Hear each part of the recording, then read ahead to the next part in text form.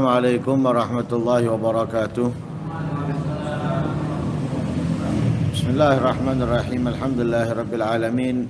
Wa bihi nasta'inu ala umuri dunya waddin wassalatu wassalamu ala sayyidil anbiya'i wal mursalin sayyidina wa maulana Muhammad sallallahu alaihi wa ala alihi wa sahbihi wa sallam ajmain. نويت التعلم والتعليم والنفع والانتفاع والمذاكرة والتذكير والإفادة والاستفادة والحث على تمسك بكتاب الله وسنة رسوله والدعاء إلى الهدى والدلالة على الخير ابتغاء وجه الله ومرضاته وقربه وثوابه من الله تعالى قال المصنف رحمه الله ونفعنا به وعلمكم في الدارين آمين في كتابه التبيان في آداب حلمات القرآن إلى قوله فصل في استقبال القبلة وكيفية الجلوس لقراءة القرآن. يستحب للقارئ في غير الصلاة أن يستقبل القبلة. فقد جاء في الحديث خير المجالس ما استقبل به القبلة. ويجلس متخشعا بسكينة ووقار مترقا رأسه. ويكون جلوسه وحده في تحسين أدبه وخضوئه كجلوسه بين يدي معلمه. فهذا هو الأكمل. ولو قرأ قائما أو مضطجئا أو في فراشه أو على غير ذلك من الأحوال جاز وله أجر ولكن دون الأول. Qala Allah azza wa jal Inna fi khalqi samawati wal ardi wa ikhtilafil laili wan nahari la ayatin li ulil albab. Alladhina yadhkuruna Allah qiyaman wa qu'udan wa ala junubihim.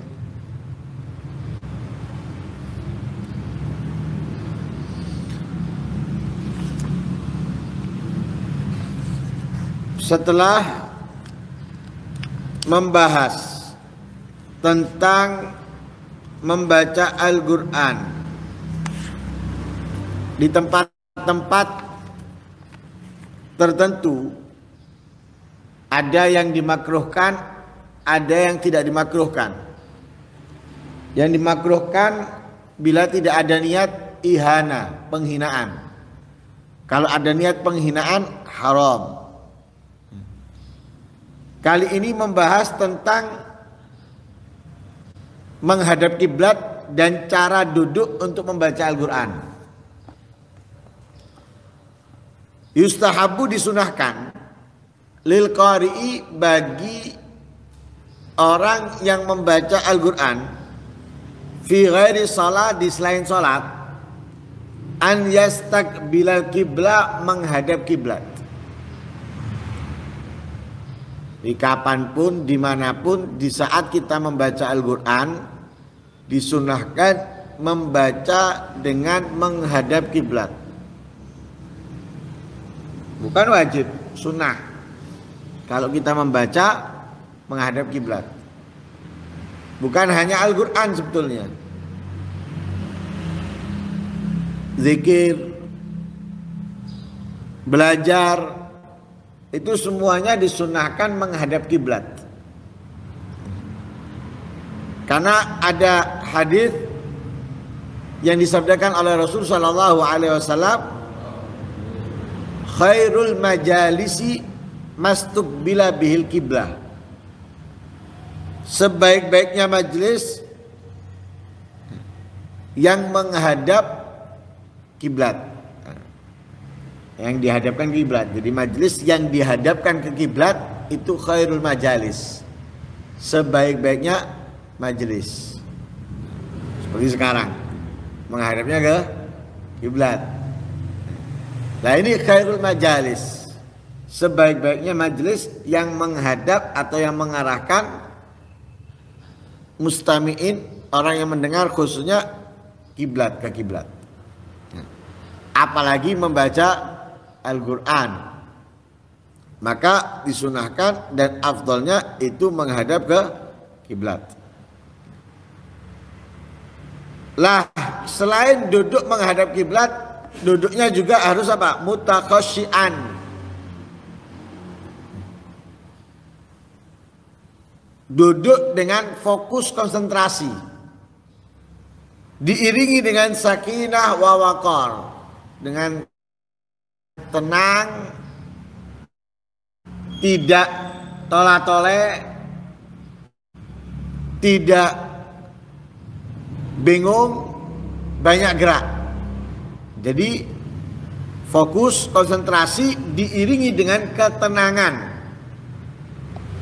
Tidak tole-tole, tidak goyang-goyang. Berpindah dari model ke model duduk. Ya. Apalagi goyang. Nah, ada kan yang duduk majelis goyang, boleh ngantuk, cek tidak ngantuk. Nah. Nah. Lah ini enggak tenang.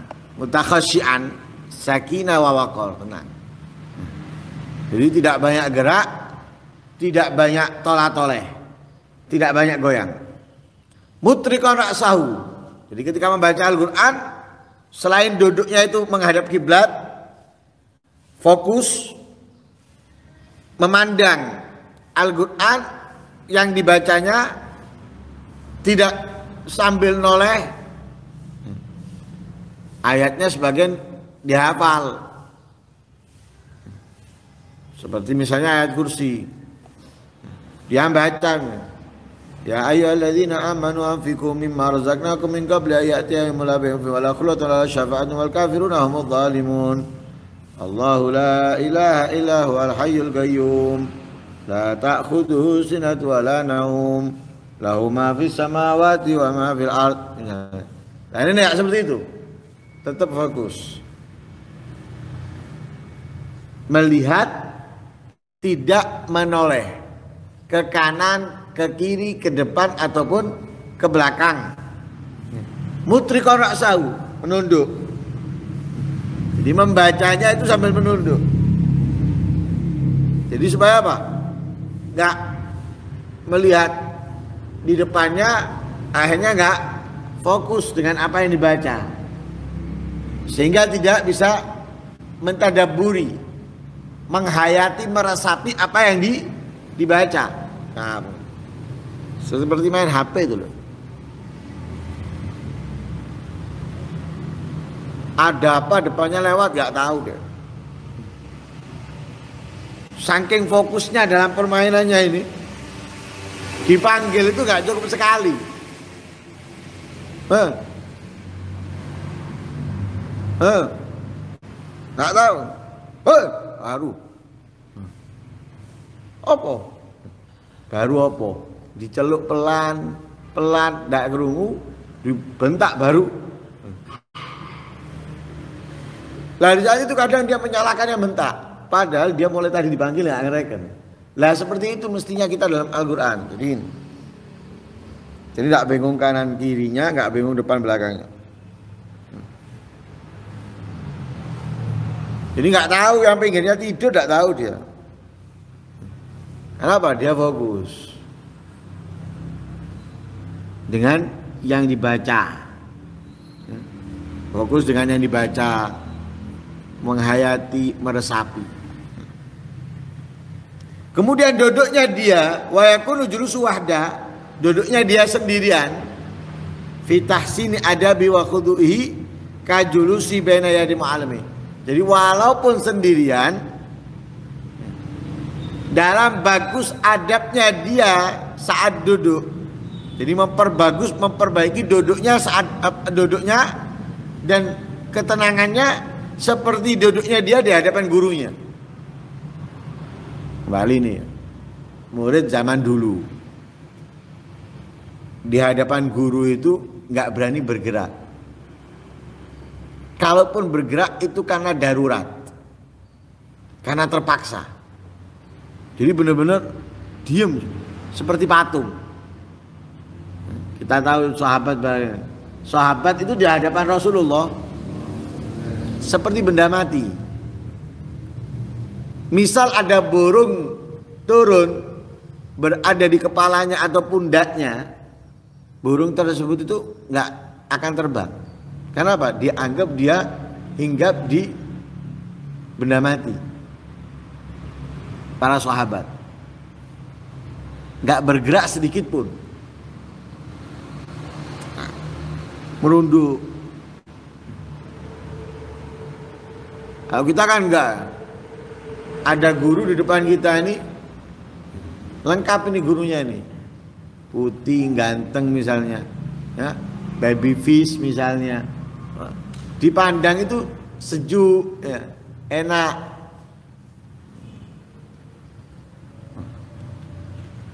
Kadang noleh buri. Padahal sih ditoleh buri ya ndak ganteng.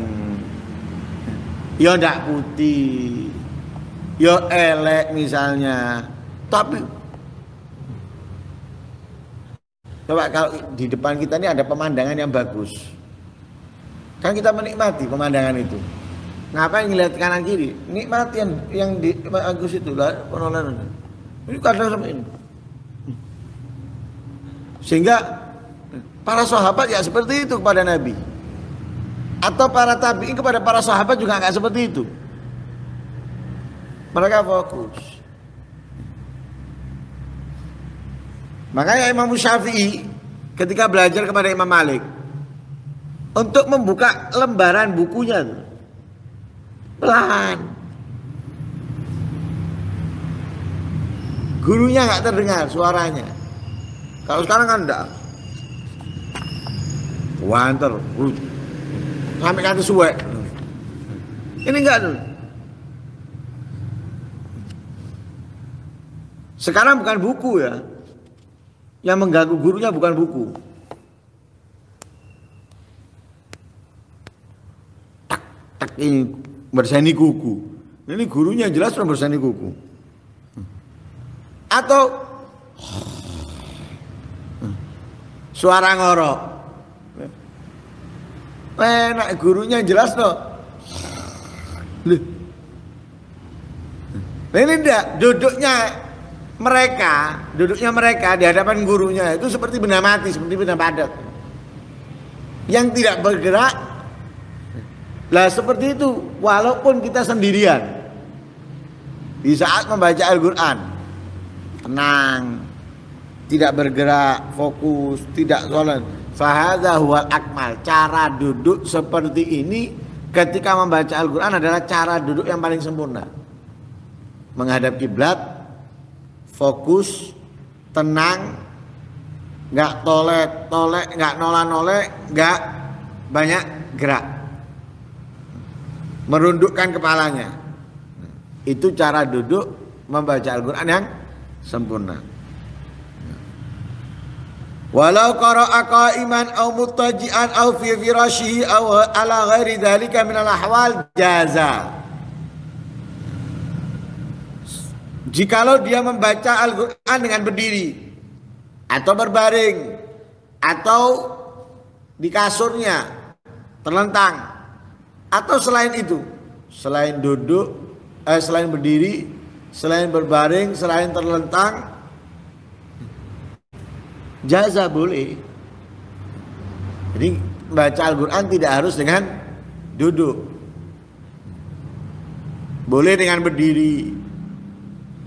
Boleh dengan berbaring, boleh dengan terlentang, boleh dengan jalan, boleh. Tapi kita ketahui membaca Al-Quran dengan jalan seperti kemarin hukumnya makruh. Sebagaimana diriwayatkan oleh Imam Malik atau dikatakan oleh Imam Malik. Boleh, kalau boleh ya boleh. Tapi afdolnya kalau bukan sholat itu duduk menghadap kiblat dengan cara yang sudah disebutkan. Walau ajrun dan dia tetap mendapatkan pahala. Membaca dengan berbaring dapat pahala.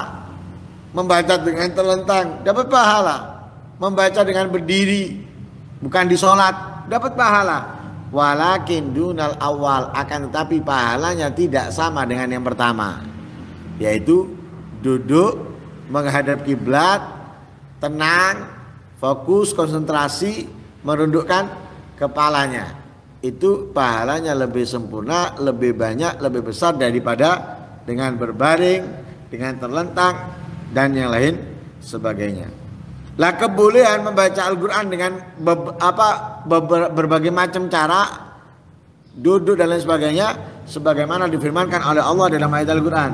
Inna fi khalqis samawati wal ardi la ayatin wa ikhtilafil laili wan nahari la ayatin ulil albab alladzina yadhkuruna Allah qiyaman wa qu'udan wa ala junubihim. Wa sabata fi sahih dan juga datang riwayat sahih dari Sayyidina Aisyah radhiyallahu anha. Beliau berkata, "Karena Rasulullah sallallahu alaihi wasallam yattaqiu fi hijri wa ana haid." Fayaqra'ul Qur'an. Rasulullah beritika, bersandar di pangkuanku di saat aku haid. Dan Nabi membaca Al-Qur'an. Di saat seperti itu Nabi membaca Al-Qur'an dengan bersandar. Nah, dengan cara duduk yang berbeda. Nah, tadi kan duduk menghadap kiblat gini. Tapi Nabi duduk seperti ini, bersandar. Ya, membaca Al-Qur'an. Rawahul Bukhari wa Muslim. Begitu juga dalam riwayat yang lain, ya al Qur'an wa ra'suhu fi hajri. Rasulullah membaca Al-Qur'an dan kepalanya Rasulullah di pangkuanku. Ya, berbaring. Ya, jadi ada riwayat itika agak miring duduknya. Ada mengatakan fi hijri berbaring Rasulullah terlentang. Wa Nabi Musa al-Asy'ari radhiyallahu anhu qal, "Inni akra'ul Qur'an fi salati wa akra'u ala firashi." Abu Musa al-Asy'ari beliau berkata apa? Aku membaca Al-Qur'an di salatku. Berdiri. Wa akra'u ala firashi, aku juga membaca Al-Qur'an di atas kasurku. Nah, itu dengan tidur atau berbaring dan semisalnya. Wa an Aisyah radhiyallahu anha qalat, "Inni la aqra'u hizbi wa ana muttaji ala sarir."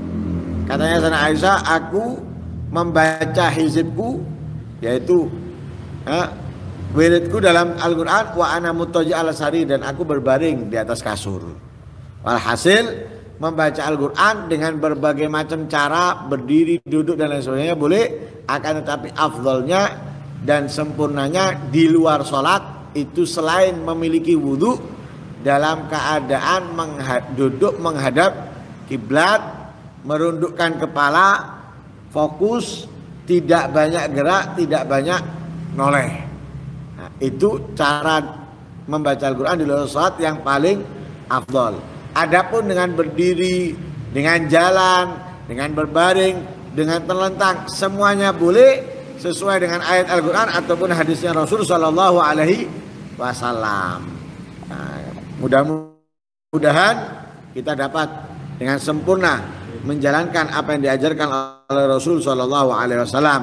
Mudah-mudahan Allah memberikan kemudahan untuk itu semuanya. Amin. Allahumma amin. Wassalamualaikum warahmatullahi wabarakatuh. Muhammadin Nabi.